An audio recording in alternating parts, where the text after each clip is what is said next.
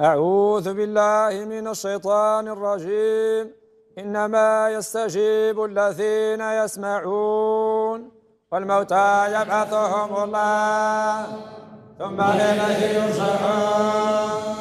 وقالوا لولا نزل عليه آية من ربه قل الله.